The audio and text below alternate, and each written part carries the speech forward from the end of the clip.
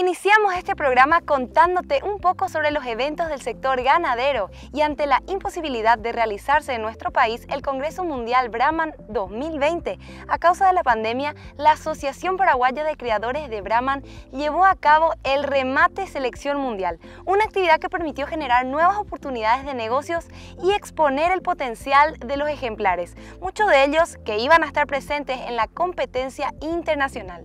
En el marco del evento, la Brahman Junior Paraguay organizó una jornada de capacitación técnica para profundizar en las características y especificaciones de la raza.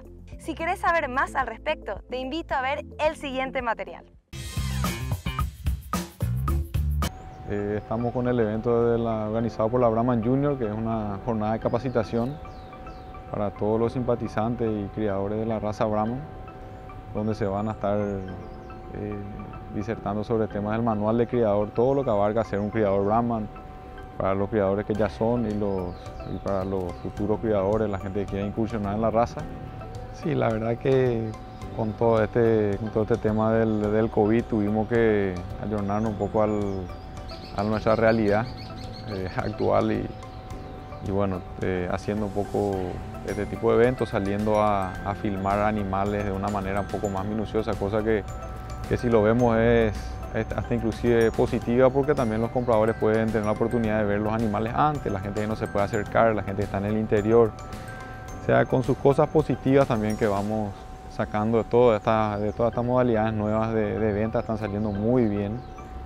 Eh, la gente también se está adecuando sin ningún problema y bueno, siempre tomando un poco todas las precauciones de seguridad y de sanidad también. Yo veo que es un momento interesante, una oportunidad porque se está vendiendo más. Es una oportunidad para nuevos productores y para los que ya están también de adquirir genética de punta. Es el caso que tenemos con este evento de la Brahma, donde hay más oferta de lo que normalmente había.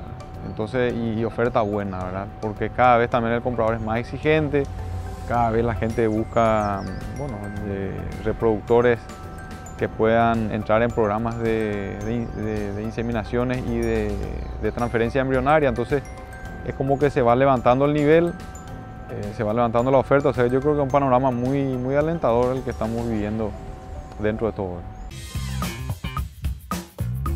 Como consejo, básicamente la intención de hoy es eh, a todo criador de la raza Brahman, a todo brahmanista, es eh, que tener el manual, interiorizarse y, profundizar en el mismo, ya que no podemos desconocer lo que, lo que el manual presenta, ya que en el mismo está un poquito la historia de la raza, em, las funciones o estatutos de, la comisión, las reglamentaciones, los grados sanguíneos, eh, los requisitos para que un animal pueda o no ser aceptado como Entonces es importante que, el brahmanista, productor y aficionado conozca el contenido de este manual.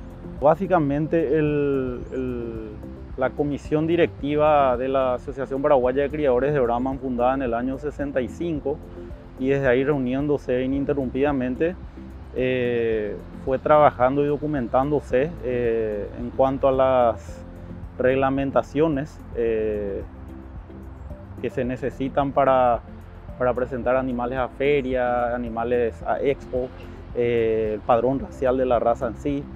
Entonces, eh, eso por un lado estaban presentes en documentos, eh, pero estaban en documentos, por decirlo, dispersos, ¿verdad? Entonces, la, creación del manual fue a principios del año 2016, con la comisión técnica presente de, de la asociación en ese año, bajo la presidencia de, Manolito Bobadilla y a partir de ahí, en el año 2019, se perfeccionó sacando la segunda edición del manual.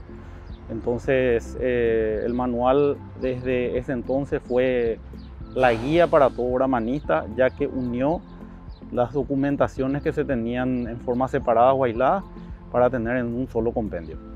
Se variaron algunas reglamentaciones, se agregaron, por ejemplo, eh, anteriormente la categoría senior podían participar solo animales hasta 35 36 meses actualmente. En exposiciones pueden participar animales hasta 40 meses. Eh, también eso se trasladó a, animales de campo, específicamente los machos, en las hembras quedó en 36 meses este, esa participación y también se, aclararon eh, mejor los reglamentos que de repente a, partir de las experiencias con los criadores eh, generaban ciertas dudas por, falta un poquito de claridad.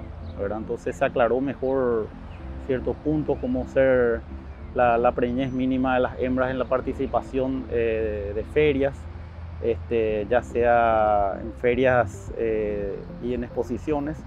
Y este, se aclararon esas dudas y algunas otras dudas también eh, que se presentaban durante la experiencia en estos eventos.